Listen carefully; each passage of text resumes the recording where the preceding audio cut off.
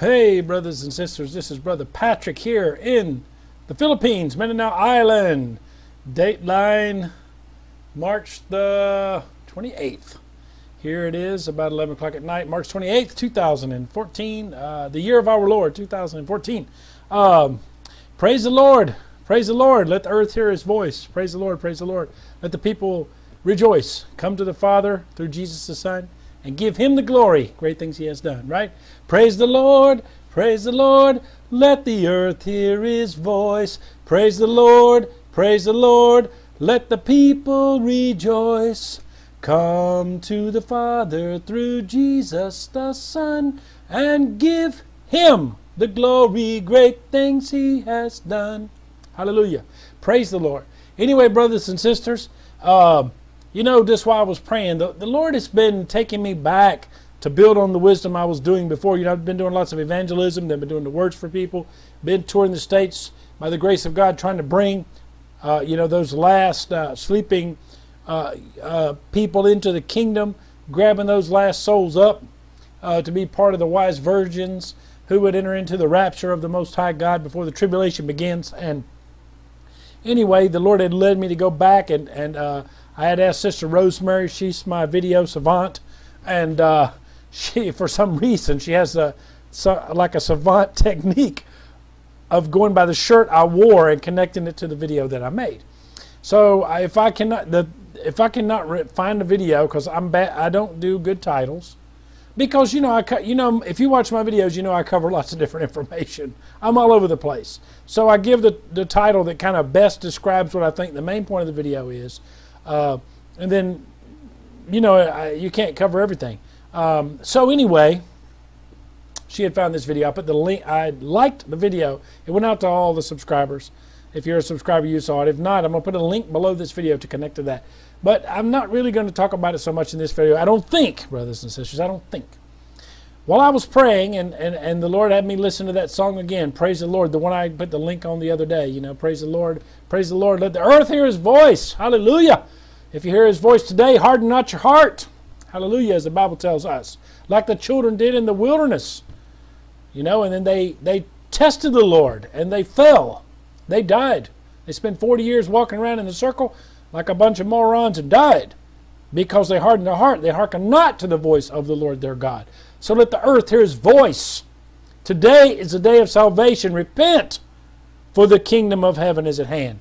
You know, I've talked about this before. Now, see, the Lord's got me to say this now. I'm going to preach. See, I just got to go with the Lord. He's been doing that to me more and more. The, I get on here, and I want to talk about Washington, D.C. as the seat of the, you know, uh, the new Atlantis that's what I want to talk about, about the trident and all that stuff. But And I just realized there's a connection between, you know, like uh, trident is the, the uh, instrument of, uh, uh, what is that, the Poseidon and all that. See, it connects to Atlantis also. But um, I have to go with where the Lord is leading me to go. So, um, they fell in the wilderness because they tried the Lord, brothers and sisters. They tested the Lord. Even as Jesus quoted from the Old Testament when Satan said, oh, uh, if you're the Son of God, you know, throw yourself off the top of the temple, you know, the wing of the temple, the top corner of it, and, you know, uh, the angels will catch you, at least you dash your foot against a stone. Quoting from Psalm 91, and Jesus said, It is written, Thou shalt not tempt the Lord thy God. And that's what people are doing. They're tempting the Lord, just as the children of Israel did. They tempted the Lord in the wilderness. By what? By fear and unbelief. By fear and unbelief. God had told them, hey, you can go take the promised land. They sent 12 spies. Joshua and Caleb came back with a good report, and the 10 other spies came back with a bad report. And that's why they were punished, because they believed the bad report instead of what Caleb and Joshua said. Yeah, there are giants in the land. Yeah, we're like grasshoppers compared to them. Yes, there were Nephilim in the land. You know, uh, as you go read the text, they were there. Those different tribes, they are uh, descendants of the Nephilim, even all the way down to David and Goliath. And later on, uh, 500 years later. Um, but Jacob and Caleb said, hey, look, or uh, Joshua and Caleb said, hey, God promised us, uh, promised us the victory. Remember when God parted the Red Sea?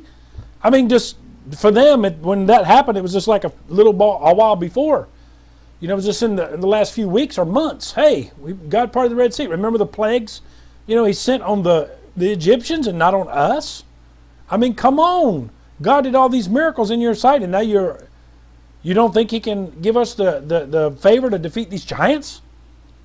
What's wrong with you people? So people are testing the Lord their God today. They have no faith. They're full of fear and doubt about the rapture, about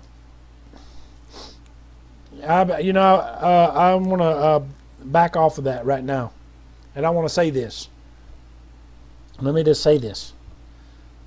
We all, the Bible says to work out your salvation with fear and trembling. I want to back off of that and say I'm sure that Joshua and Caleb, when they're in battle, of course they were afraid, but they knew God was going to give them the victory. But they were still at fear, but they, eh, you know, as any person would, but they, they, they subdued that. They subjected that to their spirit. They let their spirit lead them, not their flesh. So I just want to say we all have uh, our fear, you know, of, the, of, what's coming. I mean, I do too. I, I better say that. There's lots of you guys who ask me about that on a regular basis. And I want to say that it's normal, you know, myself included, that, you know, of course we don't, we're worried about what's coming on the earth. It's only natural. It's only normal. I'm not saying that. But we have to, you know, as Jesus told his disciples in the Garden of Gethsemane, when he asked them to stay awake and pray with him, Peter, uh, James, and John, he said, you know, can you stay awake with me? Can't you just stay awake for one hour? They kept falling asleep. And Jesus said, you know, the flesh is, you know, the spirit is willing, but the flesh is weak. And that's us, brothers and sisters. We're weak in our flesh. We're weak in our flesh. God knows that. That's why he tells us in Isaiah, you know, call me to remembrance and remind me that your, that your frame is but dust. You know, and that we are weak. Our frame is weak and we are made of but dust. God tells us to remind him of that, that we our frame is weak and we are made out of dust. So God knows that. It's not what I'm talking about. Nobody's perfect. I just want to clarify that. Because even you know, even the you know the the, the best of us who are out here running this uh, race of faith have our bad days. It's just normal. That's part of it have our moments of doubt and fear. I'm not talking about that. I'm talking about people who willfully reject the Word of God, like those people. They were without excuse. They had just been delivered from Egypt. They'd seen all the things God had done, even bringing forth the water from the rock. Every time they ran into any little trouble, up against the Red Sea, when they didn't have anything to drink in the, in the wilderness of sin, it's the name of the place, wilderness of sin, you know, um, they doubted. They said, oh, what did you do? Bring us out here to die? They tested God, tested God, tested God, and tested God. And they found out that God will not always strive with men. That's what the tribulation's about. That's what the flood was about. God said in Genesis chapter 6, My spirit will not always strive with people. In other words, God won't keep begging people. He won't keep begging people, hey, come on and repent. The kingdom of heaven is at hand. Come on, come on, come on, come on. You know, and that's what I was going to tell you a moment ago. And I, I mentioned this before. Let me connect it again when Jesus walked the earth. And John the Baptist, and then Jesus said the same thing after he was baptized Repent, for the kingdom of heaven was at hand. What was going on? Jesus walked and lived under the law as a rabbi. The New Testament had not begun yet. That's why, if you go make a will, it's called the last will and testament. That's why Hebrews tells us before a testament can come into effect, the testator has to die. When you make your will, like say, uh, uh, my my buddy down there in, in Louisiana, he owns a business. If he makes a will today and said, "Oh, I'm leaving my business to my to my children," they don't get it today. They get it when he when he leaves this world, not today. So the New Testament didn't come into effect until Jesus was crucified, died, and buried, and then when he resurrected. To be in the New Testament, you have to believe that Jesus was resurrected. So, of course, the New Testament wasn't fulfilled until he actually was resurrected because the Bible tells us over and over again, like Romans chapter 1, that it's the resurrection. Jesus Christ was proven to be to be the Christ, by the, to be the Messiah by being of the seed of David. It tells us in Romans chapter 1. And he was proven to be the Son of God by the resurrection from the dead. So the gospel is complete in the resurrection of Christ, Jesus, and his return. So that's where we are today, brothers and sisters. As Jesus even said, Lo, I am with you even to the end of the age, the eon, the, the age, like the new age that's coming, the new age people are talking about the new age that will be a new age. It's the end of this dispensation or this period of time, aka also known as the age of grace, the church age, the year of Jubilee from Isaiah chapter 61. As I've said this many times, but the Lord is leading me to say it again. Jesus quoted from Isaiah chapter 61 when he began his ministry. Luke chapter 4, verse 18, he's and the, the verses around that. Go read that. In verse 18, he quotes from Isaiah and says, The Spirit of the Lord is upon me because he has anointed me to preach good news to the poor or glad tidings to the meek, to heal the brokenhearted, bind up the brokenhearted, set at liberty those who are, are bound, and set the captives free. All those things he says. It's a list of things. And then at the end, Jesus said, And to declare the acceptable year of the Lord.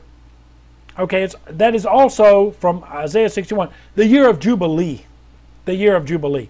That's what we're living in, the year of Jubilee. Not 2014, but since AD 33 or AD 30 to AD 33, at the resurrection of Christ, we have been in the acceptable year of the Lord.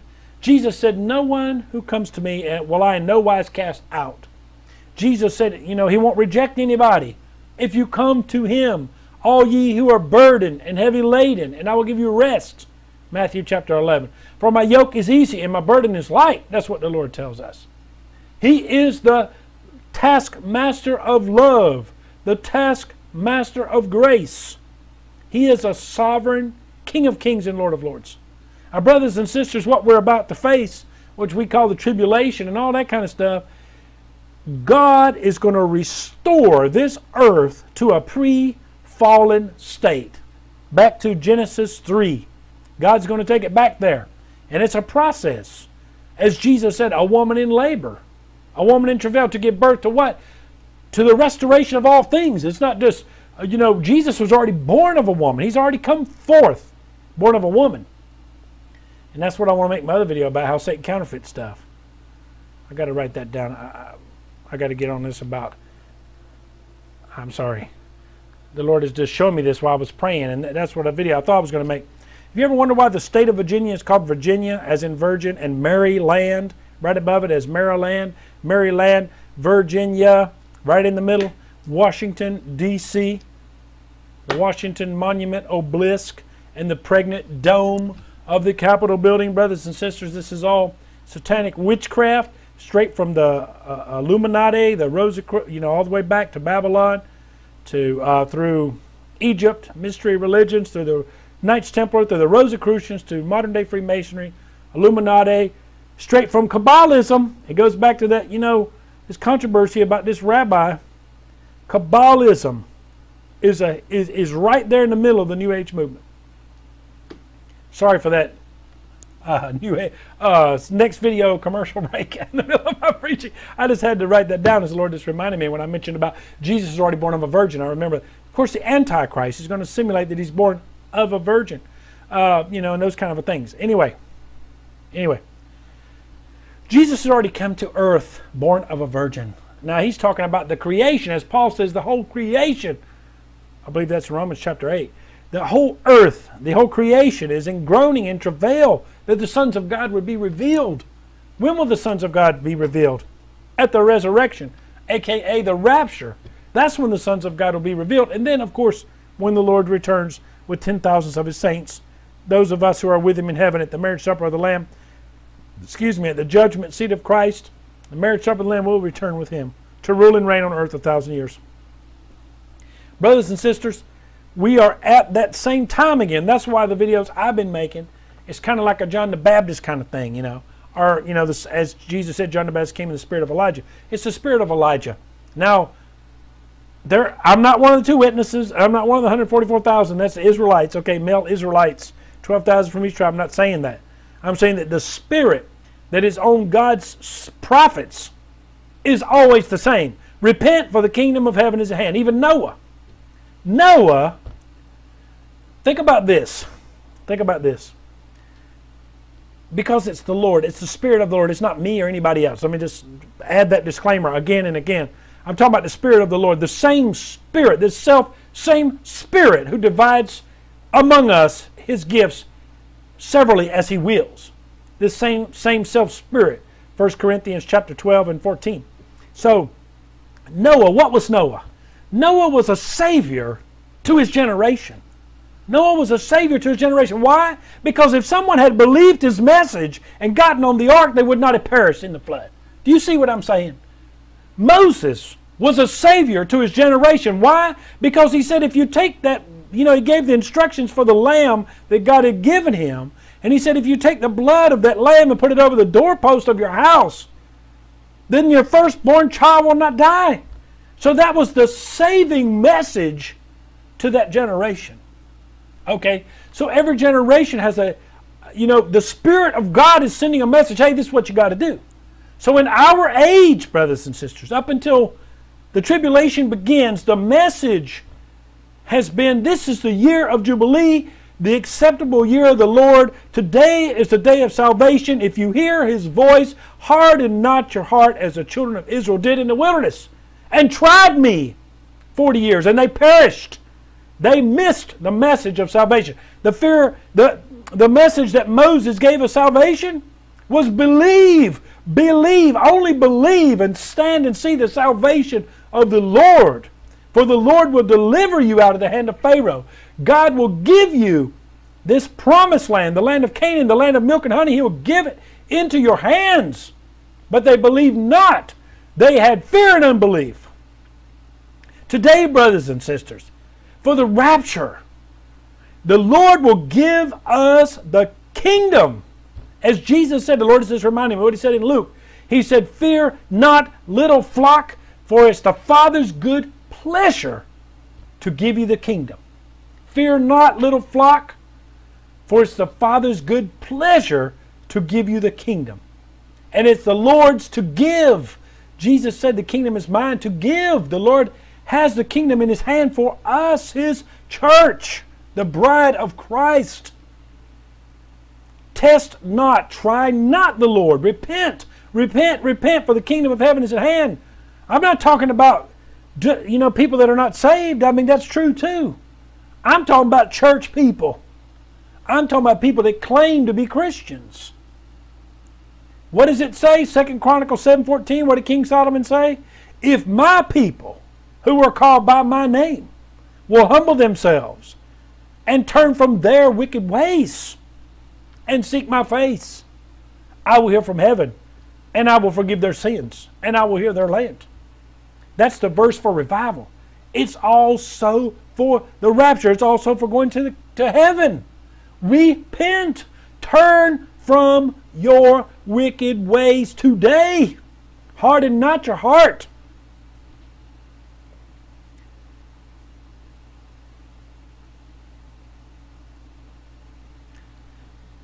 I just don't, you know, like I say, I make these videos and I don't know what else to say.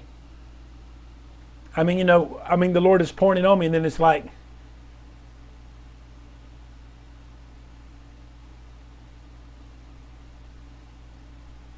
you know, the grace of the Lord is available. I mean, like I said in the last video, you know, it's like I need to, what I need to do, tap dance, you know, sing a song, you know, God to love the world. You know, you need to repent. You need to give your sins over to the Lord. Lay your burdens at the Savior's feet. That's an old gospel songs from the mountain areas of Appalachia. You know, lay your burdens at the Savior's feet. Lay your burdens at the Savior's feet. Give Jesus the glory for great things he has done. Praise him. If it wasn't for him, calling me calling you, we wouldn't be nowhere. What did Jesus say? I've quoted this many times. It's from uh, the end of John chapter 10. After he talks about being a good shepherd, he said, My sheep know my voice, and they answer not to another. He goes on to say in that text, as I told you, when he goes to the temple on the Feast of Dedication, and the, those Jews there say to him and said, Well, you know, why are we your, not your disciples? He said, Because you're not my sheep. You're not my sheep. God Almighty have mercy that we may be counted worthy to escape those things that are about to come on this earth and stand before the Son of Man. Luke 21 36. Repent and pray always that you be counted worthy.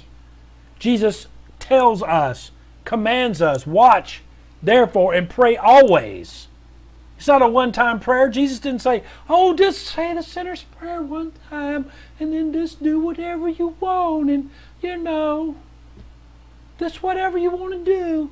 People mistake the Lord's meekness for weakness. They mistake Jesus' meekness for weakness. Have you ever read Revelation chapter 1 when John, whom the disciple whom Jesus loved, who walked with him for three and a half years, who is actually his cousin, a lot of you guys don't know that. If you studied the Bible and knew your Bible, you would know that John and James's mother is the sister of the Virgin Mary. Salome. Go read all four Gospels, put all the text together, and you will see that they're cousins. So John, the Apostle John, knew Jesus very well. They were even cousins. And when John saw the Lord Jesus Christ in his resurrected state, with his eyes like fire, fire representing the judgment of the Lord, he fell as if he was dead. And the FYI here is also shows that people can be slain in the Spirit. Being slain in the Spirit is in the Bible because John the Apostle was slain in the Spirit when he saw the Lord Jesus Christ. So you can hold your uh, anti uh, spirit filled criticism uh, because you need to criticize the Apostle John also for being slain in the Spirit. And Ezekiel was also slain in the spirit when he saw the Lord um, in his chariot, a wheel within a wheel. So, brothers and sisters, today is a day of salvation. Harden not your heart. Hearken unto the voice of the Lord your God. For God speaks through men. Whenever someone gives you the gospel, they are operating by the Spirit of Christ. And the Bible says the Spirit of, you know, that the Spirit of prophecy is Christ, it's the gospel. God is using me this moment as an instrument of salvation for those who have an ear to hear. Repent, for the kingdom of heaven is at hand. Put your faith and trust in the finished work of the Lord Jesus Christ. Repent. Call upon the Lord while he may be found. Hold not back your heart from the Lord. Surrender all, like the song, I surrender all. All to Jesus, my precious Savior. I surrender all. Brothers and sisters, I'm going to cut this video off. I guess I'm about finished. As the Lord would lead me, I want to make a, a, a video about the duality of, of the Antichrist and the Lord, as the Lord was showing me while I was praying. And then the last, since I've been back from the States, the, the Lord, as soon as I get on the video, then boom, the Lord changes my message in the first sentence. What can I tell you? The Lord is just uh, you know it's part of, you know part of Him developing my faith and part of I guess you know His end times message. Um, and yeah, let me add this because I was talking about that. You know, we're we're we're going from the year of Jubilee. We're at the end of the year of Jubilee. This 2,000 years. We're at the end of the acceptable year of the Lord. When the tribulation begins, that age is over. The age of grace is over. It's a new dispensation. The tribulation period is a different dispensation. You may say, well, Brother Patrick, uh, well, what about you know the grace of God? Well, there's the grace of God in the Old Testament, but it's a different way that God's handling it. So in the tribulation, it's a different way because if you take the mark of the beast in the tribulation period, you have this thing where take the mark, I will chop off your head. We don't have that now. You know, people in the tribulation will be forced to choose. They will be say, hey, didn't renounce Jesus and take the mark and worship the Antichrist, so we're going to chop your head off and kill you. If you take the mark, you're eternally damned to hell. So you can't, you know, you can't undo. Once you take the mark, that's it. We don't have that today. You know, you can go out here and, and, and join the Church of Satan today. You could go around here doing a chant and a rain dance, and a, uh, you know, you you could be, you know, a, a lap dog for Satan, and then uh, tomorrow get saved, and then go to heaven repent and get saved. So, but during tribulation, you can't do that. So it is a different dispensation, a different period. It's not the church age. That's why it talks about in the book of Revelation, after the first three chapters, where it talks about the church, is Revelation 2 and 3. In chapter 3 onward, it talks about the saints. It doesn't say the word church anymore. It says the saints. That's why we call them the tribulation saints. They're not part of the church. They're not part of the bride. They're a whole different group. If you study out Revelation, like I've talked about before, you've got the angels, You've got Israel, and then within Israel you've got the Kohenes. Kohenes are descendants of uh, uh, of Aaron to be the high priest. Then you you know you got these different sections of the Levites, the Kohenes, the the Gershites, all these different ones. They can have different duties within the temple of God. And then you've got the church, the bride. And then you've got the tribulation saints. Different groups, brothers and sisters, different groups. Gentile tribulation saints, and of course the Jewish tribulation saints are part of Israel. That's a whole different thing. Okay, brothers and sisters, you know, I, I know that my my views of my videos would be way, way higher if I made my videos shorter. All those 10 minute breaking news videos. But by the grace of God, you know, I, I just got to do what God called me to do, brothers and sisters. I love you guys. I thank all of you who watch my videos because I know it takes, uh, you know, time. And, uh, you know, but hey, people being discipled from it, it's having an impact by the grace of God, by His Spirit. You guys are going out there and, and you know, and getting something out of this and then sharing it to somebody that's lost. And, you know, uh, people getting saved through you guys. And that's what I'm trying to do. I, besides evangelizing people, I'm trying to, uh, you know, disciple those of you and, you know, to grow in the Lord to pass it on along down the line to the non believers out there. I mean, that's what it's all about. Uh, you know, we're a team and we work as a team, as the body of Christ. We all have a different part to play. You know, my part is like a little bit of a, a pep talk, uh, a rally, a little coaching techniques or whatever. Put it out there to you guys to go for it in your in your daily lives, dealing in the world. God bless you guys. Uh, if you if you if you don't know how to get saved, you know I have people messaging me on a regular basis. Message me if you're not sure about salvation, how to be saved, or if you're saved. I'd be glad to help you. God bless.